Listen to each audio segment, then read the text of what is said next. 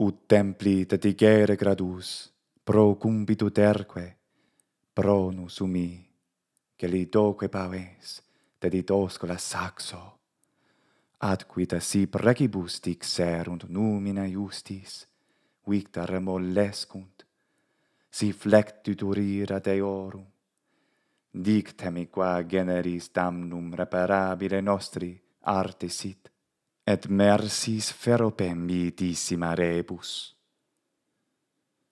Mota Dea sortemque dedit, discedi de templo, et ve late caput, quintasque resolvite vestes, ossaque post ergum magna iactate parentis.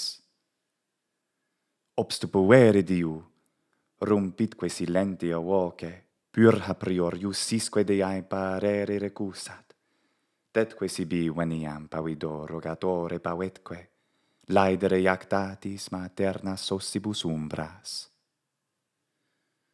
Interea repetunt caecis obscura la debris, verba datae sortis sequinter seque volutant.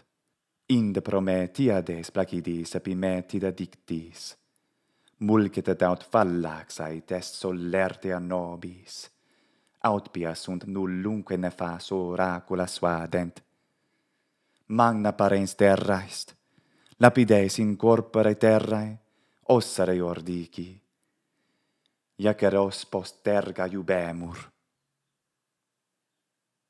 Coniugis augurio quamquam titania mota est, spes tamen in dubiost, adeo cae lestibus ambo diffidunt monitis sed qui temptare nocebit.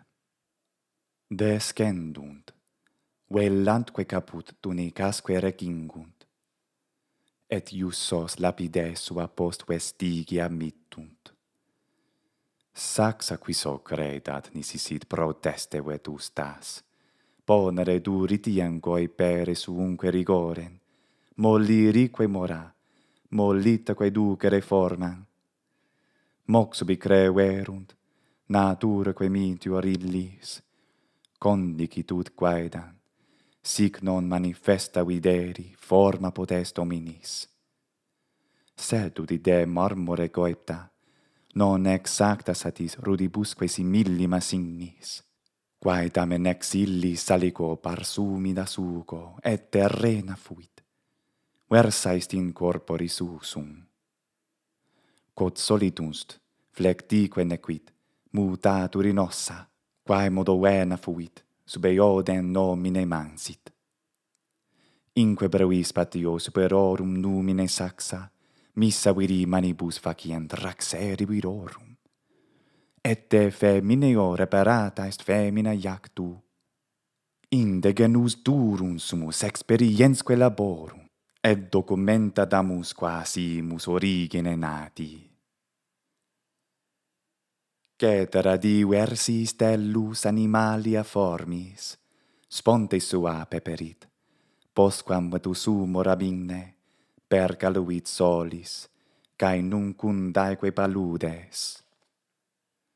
Intimu eraes tu, fecundaque semina rerum, vivaci nutrita solo che o matris in alvo creuerunt faciem qualiquam che pere morando. Sicubi de servit madido septem flus agros nilus et antiquo suo flumina reddidit alvio aeteriocere cens exarsit sidere limus. Plurima cultores versis animalia glaibis inveniunt et inis quaedam modo coepta per ipsum, nascendis patium, quaed in perfecta suisque trunca vident numeris, et eod in corpore saepe, altera pars vivit, rudis est pars altera tellus.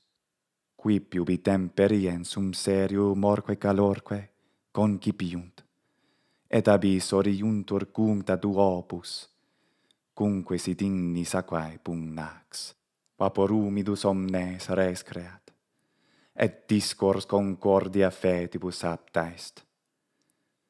Ergo vidi luio tellus lutulenta regenti solibus aeteriis altocere canduit aestu, ed idit innumera species, partinque figuras retulit antiquas, partin nova monstra creavit.